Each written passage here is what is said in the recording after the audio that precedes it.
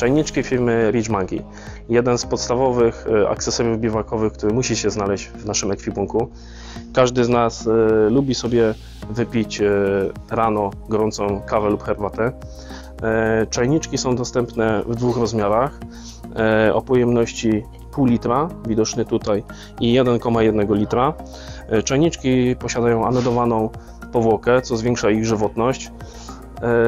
Dodatkowo każdy czajniczek posiada tego typu pokrowiec, także znakomita alternatywa na szybkie wypady, jak i wypady w gronie znajomych.